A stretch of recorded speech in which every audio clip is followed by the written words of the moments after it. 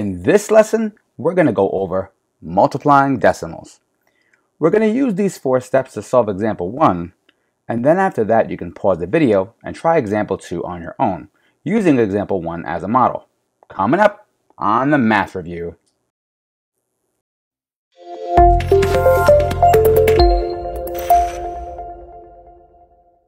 So this example says 45.902 times 3.5. Step 1 says to write aligned numbers given with columns lined up. That's a little bit wordy. All that means is this. We're going to put one of these numbers on top of the other and then make sure we right align them when we do so. And what I recommend is when you have two numbers like they have here, you should make sure that you put the number with less digits on the bottom. So here this first number is 45.902 that has five digits in it. One, two, three, four, five. And this number here, 3.5, has two digits in it. One, two. So we're going to write this number down first. Next, we're going to place this number 45.902 directly on top of 3.5. But we have to make sure that we right align it. In other words, we're not going to go past this 5 here, and we're going to start by writing the first digit on the right on top of this number here. So in the number 45.902, I'll take this 2 and right align it right above the 5.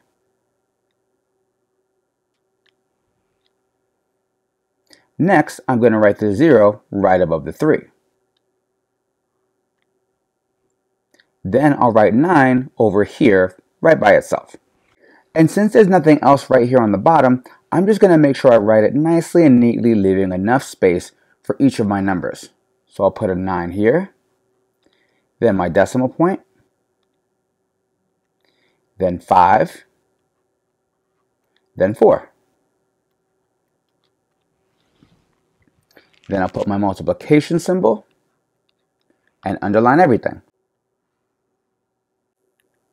So now we can go to step 2, which says to multiply each digit in the bottom number by each digit on the top, starting from the right. Here's what that means. I'm going to look at my bottom number here, which is 3.5. I'm going to look at this first number in the right of it, which is a 5.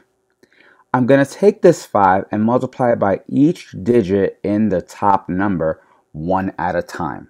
So first, I've got 5 times 2, which is 10. Now that's a two digit number, so I can't write two digits in one column. So what I'll need to do is I'll write the zero here and carry the one. Next, I'll multiply 5 times 0, which is 0. But then I add what I carried, which is 1, and 0 plus 1 is 1. Next, I've got 5 times 9. And 5 times 9 is 45. Again, that's two digits. So for the number 45, I'm going to put the 5 down here and carry the 4. Notice how I'm making sure I put a number in each column. Next I've got 5 times 5, which is 25, plus the 4 we carried is 29. For the number 29, since it's two digits, I'll write the 9 down here and carry the 2. And then I'll multiply 5 times 4, which is 20. But then I've got to add that 2 I've carried, which gives me 22. So I'll put the 2 here, and since there's nowhere to carry to, I'll write the other 2 right in front of it. We're going to need a little bit more space, so let me move everything up. Now that I finished using the 5, now I've got to use the number 3. And I'll do the same exact thing. I'm going to take this number 3 and multiply each digit in the top by that 3. But before I do that, there's a really important step that you have to remember. Remember when we started multiplying by 5, I started writing my answers under 5. The same rule applies for this 3. So I have to start writing my numbers directly under 3 here, which means here I'm going to put a placeholder. Now, you can put a 0 here, but I prefer putting an X. The reason why is because if we have a number that has zeros in it, all those zeros can get very confusing. I prefer putting an X. Then I'm going to cross off every single thing I carried, so I don't confuse anything I carry now with anything I carried before. Now we can start. 3 times 2 is 6. I'll put that 6 directly under the 1. 3 times 0 is 0. I'll put that here under the 5. 3 times 9 is 27. I'll bring down the 7 and I'll carry the 2. 3 times 5 is 15.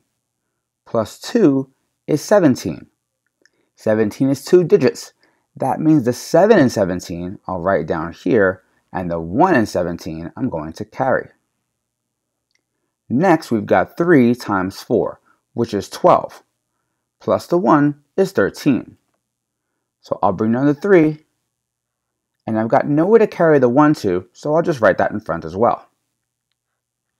Now we can move on to step 3, and that says to add values for multiplication in each column starting from the right.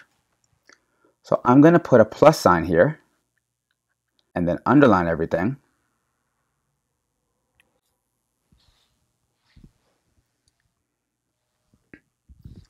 I'll scroll up a little bit.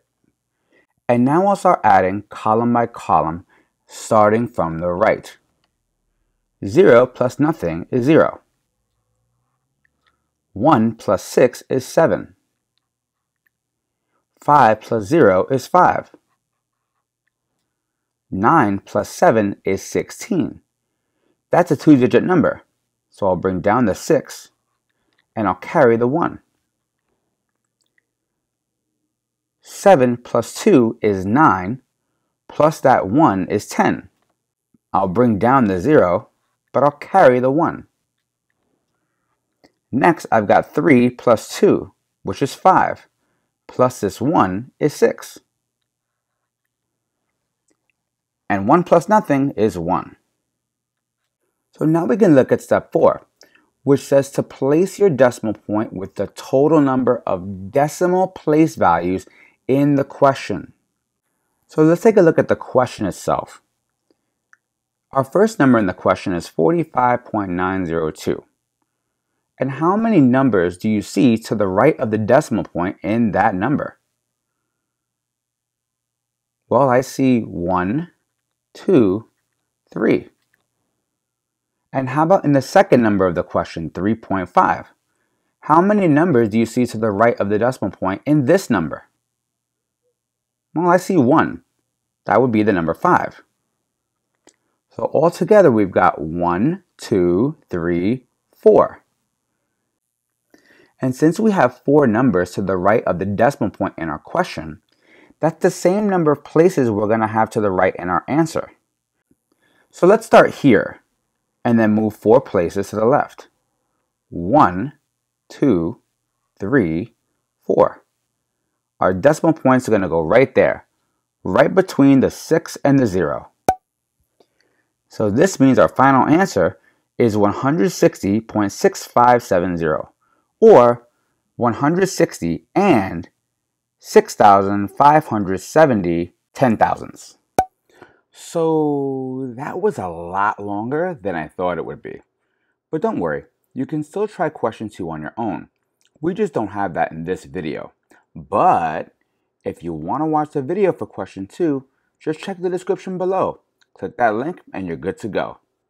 Thanks for watching.